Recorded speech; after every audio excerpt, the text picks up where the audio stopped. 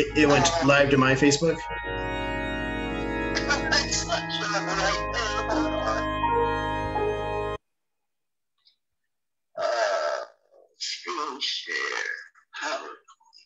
Okay, and then I will share this. Share this to page manage. Sorry about this. This is. Good morning, Rick and Mary Jo Everly here. We just want to let you guys know that we miss being in with you. We miss your hugs, your smiles, and we miss the music. Speaking of music, the praise team has been uh, pretty good at getting things recorded and sent out for Sunday morning, but it's just not the same as being at church and playing in front of a congregation. And we really miss that, and we can't wait to get back to seeing you again on Sundays. So everybody, be safe, and we'll all be together soon. Bye-bye. great Sunday. Thank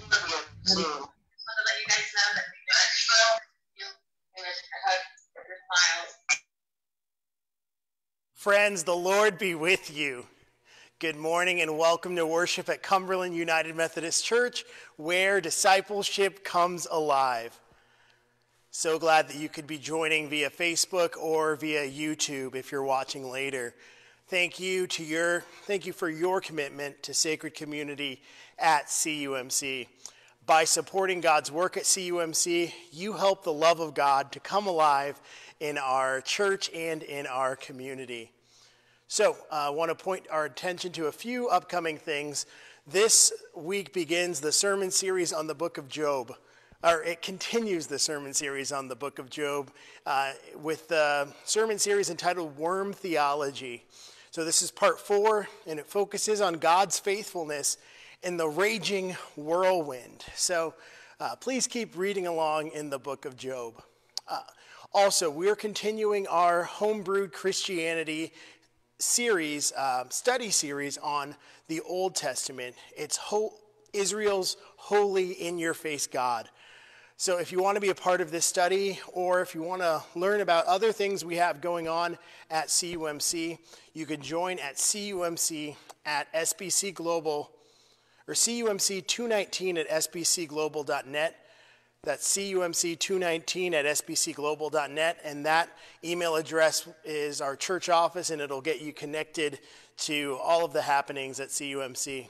So stay tuned to your weekly announcements, the church Facebook page, www.cumberlandumc.com for more information. And now let's join our hearts and minds together for our call to worship. This is the day the Lord has made. Let us rejoice and be glad in it. O come, let us sing to the Lord. Let us shout to the rock of our salvation. Sing to the Lord a new song. Sing to the Lord all the earth.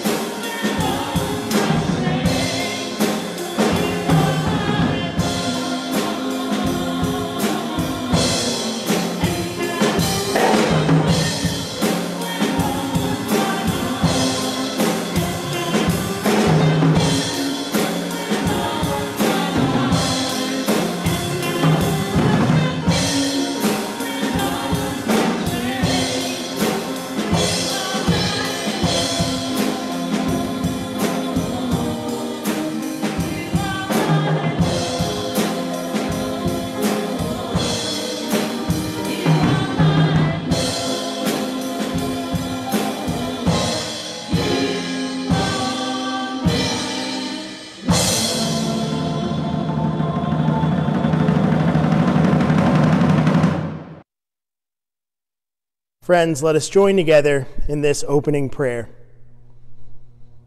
God of light and truth, you are beyond our grasp or conceiving. Before the brightness of your presence, the angels veil their faces. With reverence and adoring love, we acclaim your glory and sing your praise, for you have shown us your truth and love in Jesus Christ, our Savior.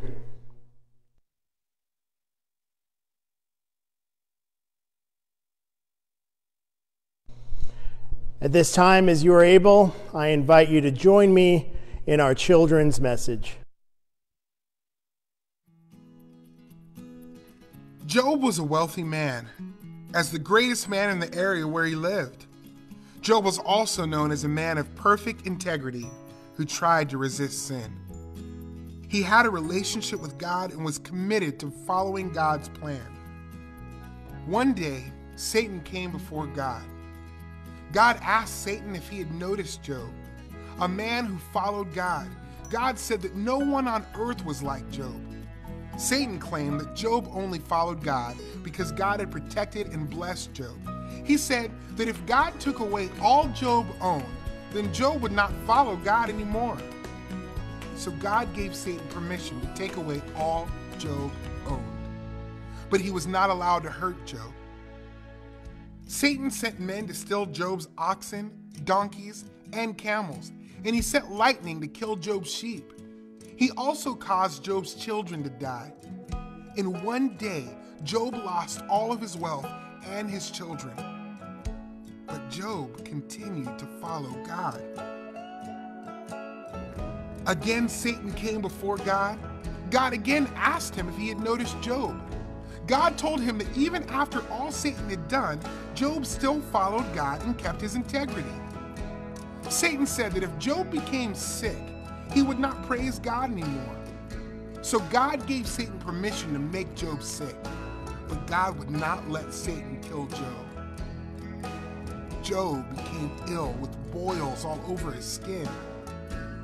His wife thought he should blame God but Job told her that God was always in control, whether Job experienced good times or bad times. Three of Job's friends, Eliphaz, Bildad, and Zophar, came to visit him so they could comfort him. Job shared with his friends how confused and grieved he was over all he had experienced. Instead of comforting Job, his friends told Job that he must have sinned to cause these bad things to happen to him. His friends believed that suffering only came to people who sinned. They believed that Job was being punished for a sin he had committed and that Job should repent so God would restore his good fortune.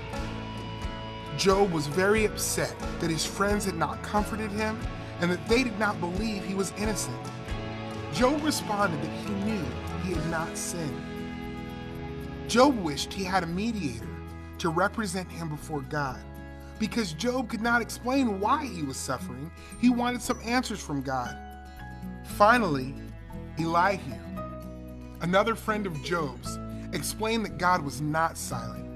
Elihu accused Job of insisting on his righteousness to the point that he implied God was unjust. Elihu argued that God was righteous, merciful, and just. He reminded Job that God was all powerful and sovereign over all. After Elihu spoke to Job, God spoke to Job through a whirlwind. God asked Job if he was there when God made the earth. Was Job the one who told the sea where it should stop? Did Job decide when the sun would rise or when it would snow? Did Job put the stars in the sky? God used all of these questions to help Job understand that God was sovereign, all powerful, and good. Job realized that he had spoken about things he did not understand, and he repented of his earlier words and attitude.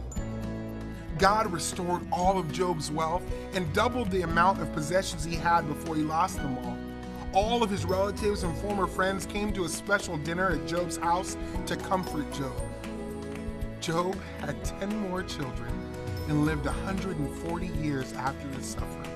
He saw his grandchildren and great grandchildren be born and grow up before he died. Job's suffering and his request for a mediator gives us a simple glimpse of our Savior Jesus.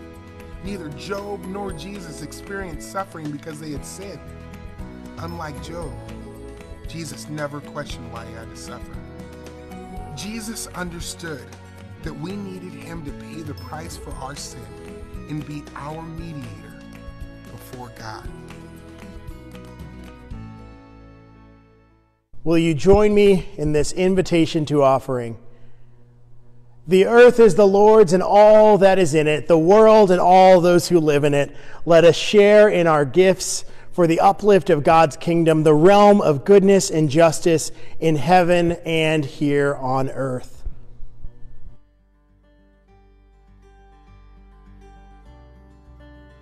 Thank you for your commitment to continuing God's work at Cumberland UMC through your giving.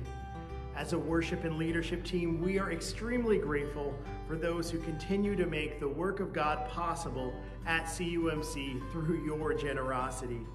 So, the best ways to give are as follows you can do a traditional method of giving through mailing your giving to the church at Cumberland UMC, 219 North Muessing, Indianapolis, Indiana 46229.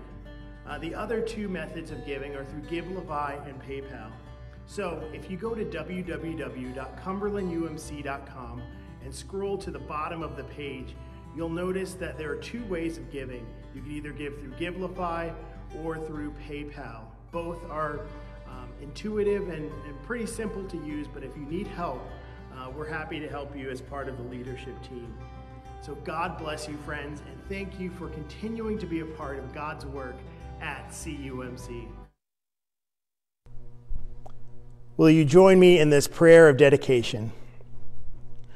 Blessed are you, O God of creation. Through your goodness, we have these gifts to share. Accept and use our offerings for your glory and the service of your kingdom.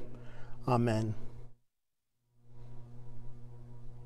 Will you join me in this call to prayer? We praise God for his mercies, for your goodness that has created us, for grace that has sustained us, for discipline that has corrected us, for patience that is borne with us, for love that has redeemed us. At this time, you're invited to share in your praises and concerns, dropping them in the comment section so that we can, as a community, uh, lift them up in prayer or in celebration. You don't journey alone. God is with you, and your community is too. So please share your joys and concerns at this time.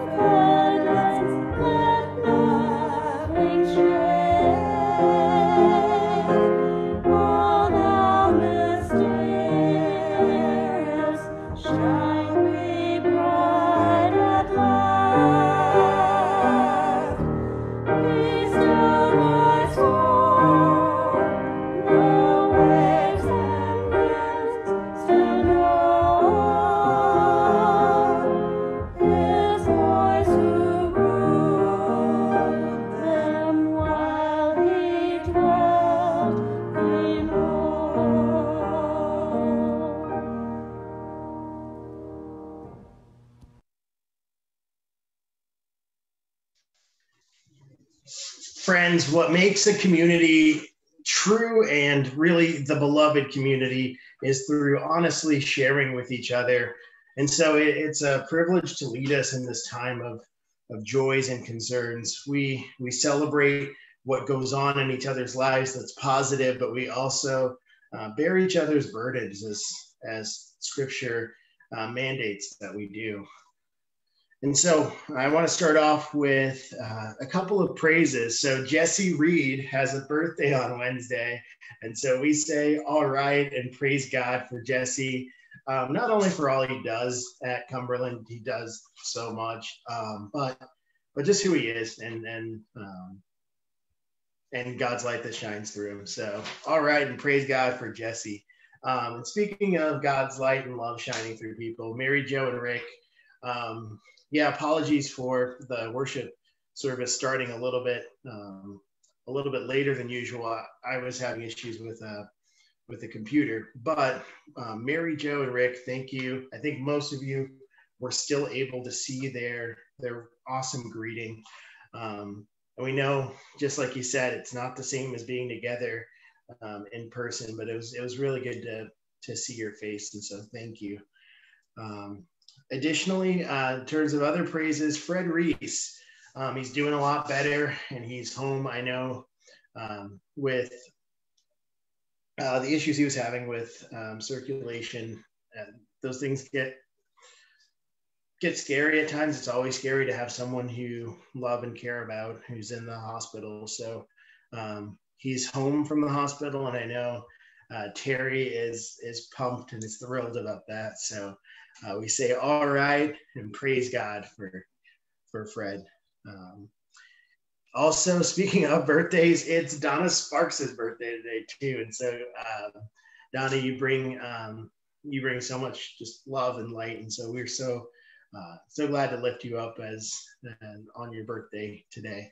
Um, now, switching to concerns, um, just wanted to put a couple in front of us again. Um, so just continue to pray for for Jordan and his his migraines that he's having, and Kathy and Jesse as they um, care for their son who's uh, you know across the country. So um, Kathy and Jesse for Jordan, we pray with you.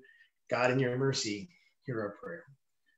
Um, additionally, Shirley Miller is wanting uh, prayers for her daughter Haley. Um, her daughter Haley's husband Wayne is suffering now from bacterial meningitis. So um, just continue to to keep Shirley, but also her daughter Haley and Wayne in your prayers. Um, additionally, uh, Missy Combest is having some stomach issues. She's feeling um, better, but there are series of doctor's appointments related to that, and uh, just continue to keep keep Misty, uh, the whole Combest family in your prayers.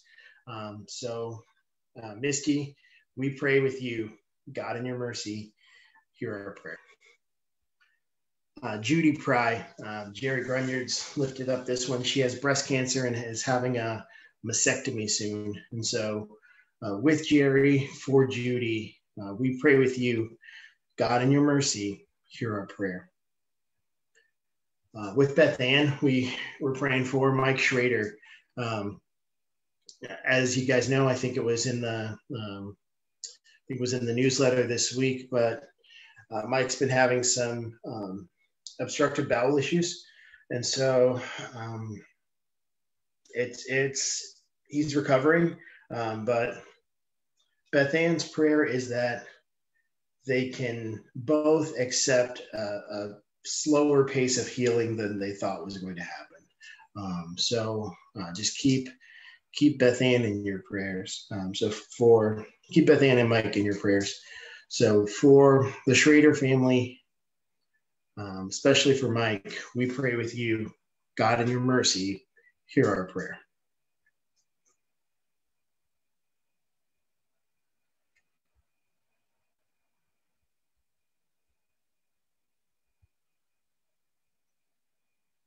Yeah, and then um, I think we're all kind of following the news story of of the president's uh, President Donald Trump's COVID nineteen. Um, so I think it's a it's a also even a bigger symbol of how how we're not through the woods on this COVID nineteen um, r- real pandemic and just just complete um, complete you know public health crisis. And so just for Donald Trump and for all else who um, who are experiencing symptoms of COVID nineteen, uh, we pray with you and God in your mercy hear our prayer. And so, friends, um, just because we're ending this time of prayers and concerns now doesn't mean that we stop praying or being concerned with each other. And it's a constant thing. So, just uh, we pray, or I encourage you to um, send your prayer requests into uh, CUMC219 at sbcglobal.net. And, um, or also just message the Facebook page, or most of you have my cell phone number. Um, just feel free to to text me any prayer concerns too. Um, yeah, and it's my honor to lead us in this pastoral prayer. One other thing too, I will say, uh, stay on. Uh, oh, now lead us in our pastoral prayer. For, um, God of creation, you made all things in your wisdom, and in your love you save us.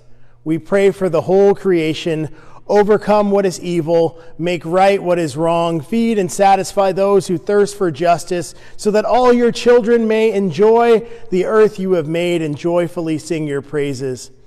We pray for the President of the United States, Donald Trump, and his family, the White House staff, and others who may be experiencing symptoms of COVID 19. We pray for healing, and we pray that this disease of COVID 19 can be contained and eradicated. Give wisdom to scientists, public health officials, doctors, and nurses as they make decisions, often with incomplete information. Give them strength in your eternal wisdom. God, in your mercy, hear our prayer. Gracious God, you've called us to be the church of Jesus Christ. Keep us one in faith and service together, breaking bread together, and proclaiming the good news to all the world, that all may believe that you are love and turn to your ways and live in the light of your truth.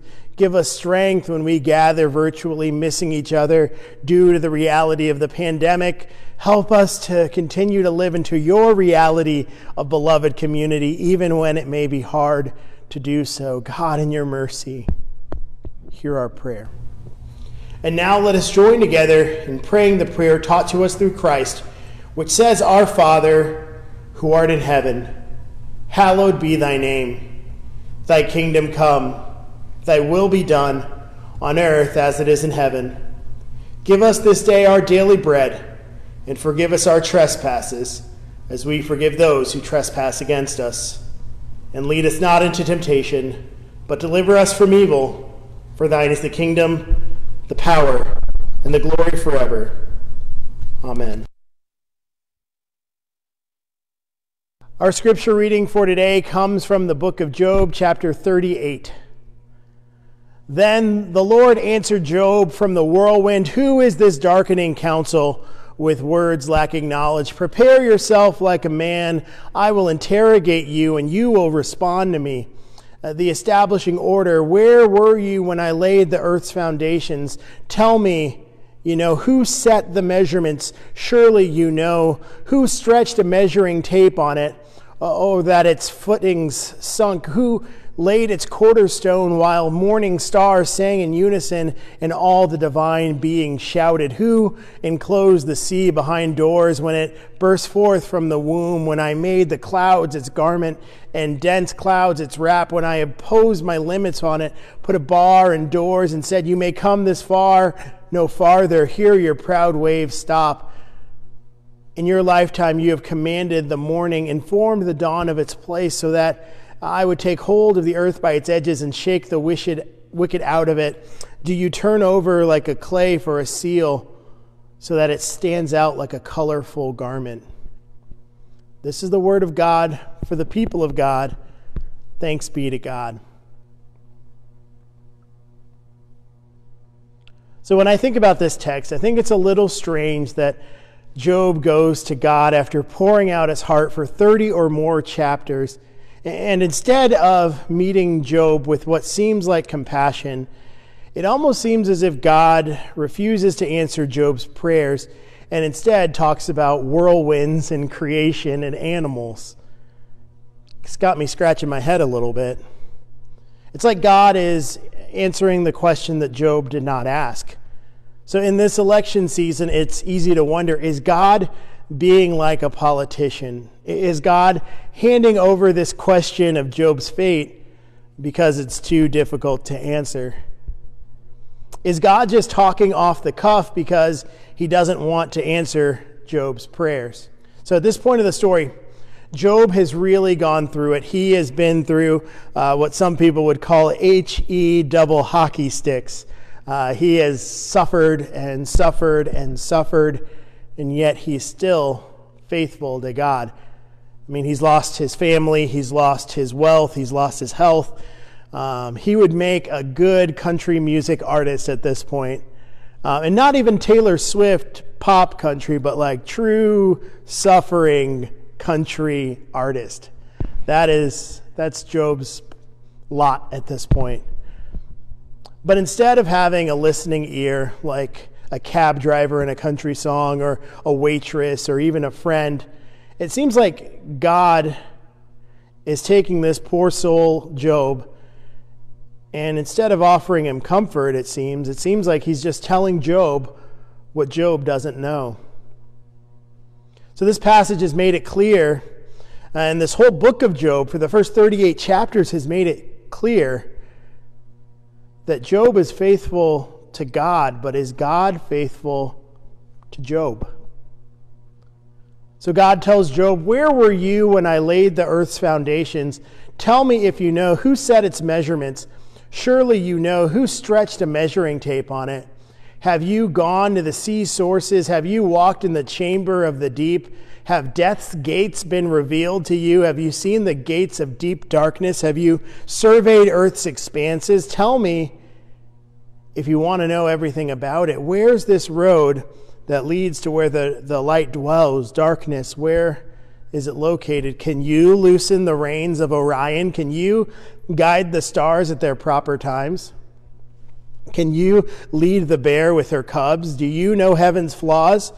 Can you impose its rule on earth?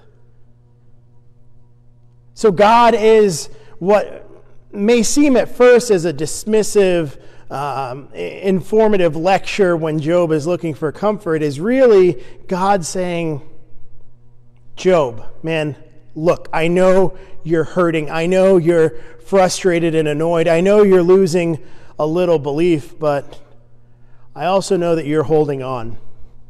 He's saying, Job, I know you don't have all the answers, and it may seem a little bit scary right now, but even your lifetime is, is a glimpse. It is this blip on the timeline of eternity. So please just trust in my wisdom.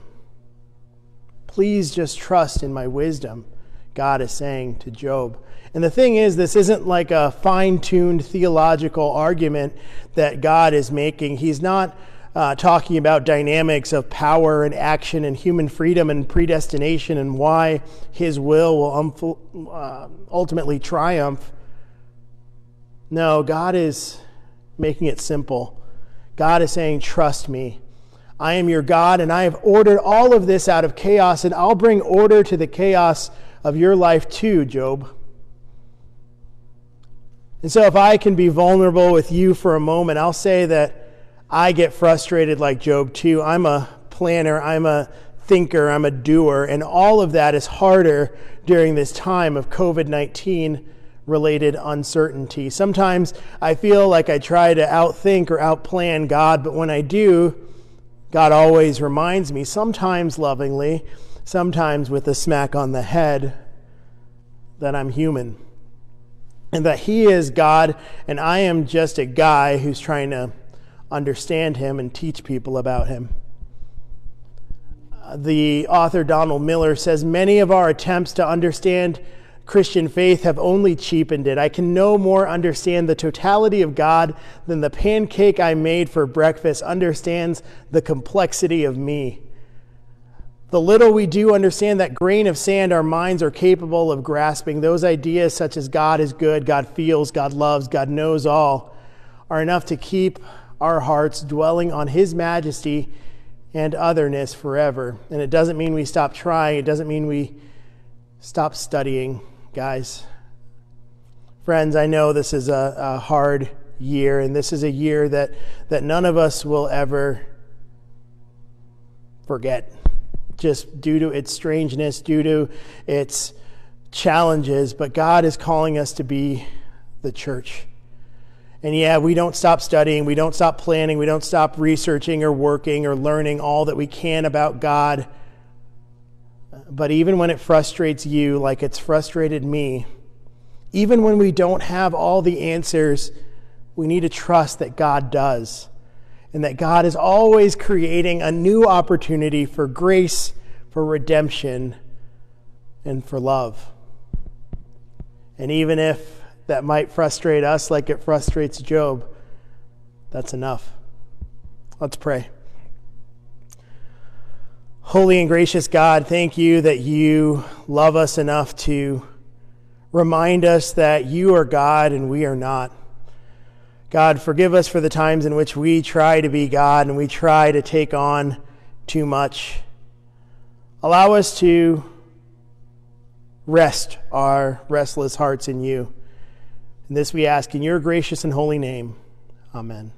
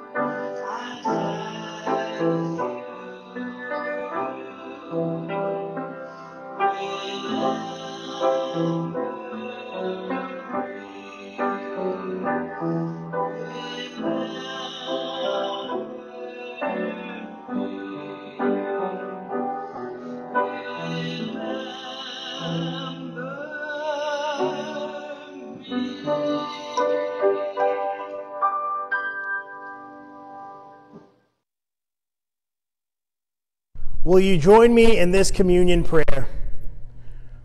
Holy God, you commanded light to shine out of darkness, divided the sea and dry land, created the vast universe and called it good. You made us in your image to live with each other in love. You gave us the breath of life and freedom to choose your way. You promised yourself in covenant with Abraham and Sarah and told us your purpose and commandments through Moses and called for justice in the cry of the prophets. Through long generations, you have been faithful and kind to all of your children. As your children, we have fallen short and we have not heard the cries of the downtrodden. We have forgotten your word. Free us and forgive us for joyful obedience. Thank you for your presence today with us in your broken body and your poured out blood.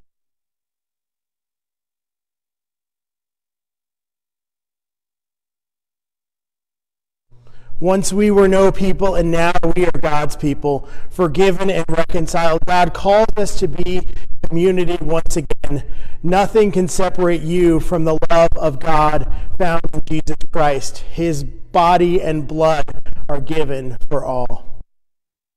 So let us join together at God's table and receive this grace that we were freely given. It was on the night in which Christ was betrayed that he took bread and after giving thanks, broke it and said, Take and eat. This is my body, which is given for you. Eat this in remembrance of me. So, friends, let us together partake in the body of Christ.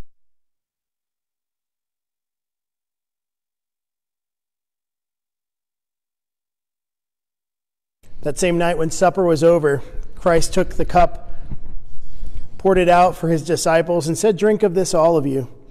This is the blood of the new covenant poured out for you and for all for remission of sins.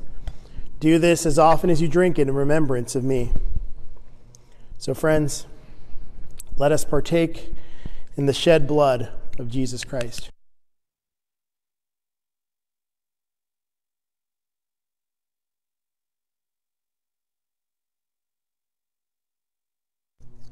Amen. And let us pray. Holy God, born of Mary, you share our life. Eating with sinners, you welcome us. Guiding your people, you lead us. Visiting the sick, you heal us. Dying on the cross, you save us. We thank you for being with us in this meal. Give us the grace to be your body and blood for this world, we pray. Amen.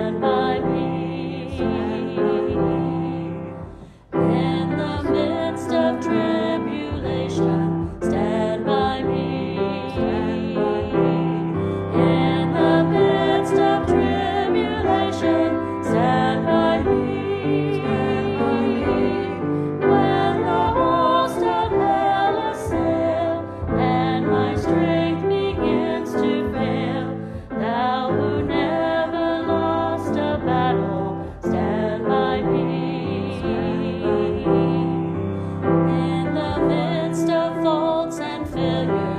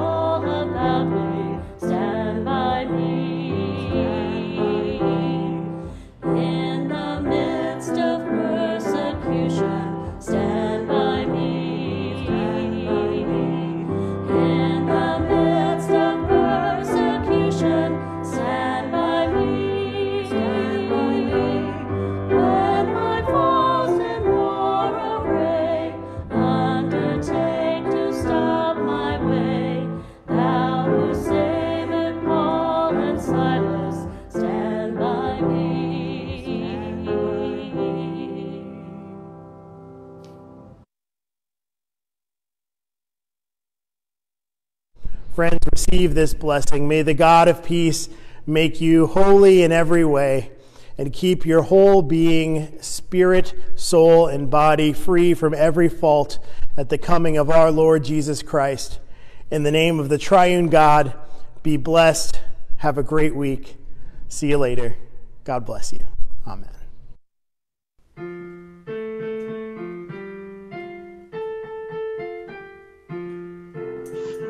Friends, um, please continue to um, to for each other. Uh, have a safe and wonderful week. Wear your mask and sit uh, and be six feet apart. Um, one thing I want to mention is um, I encourage you to to join this this room of coffee and conversations that we'll have. Just click that that Zoom URL and it should be able to to get you there right after worship.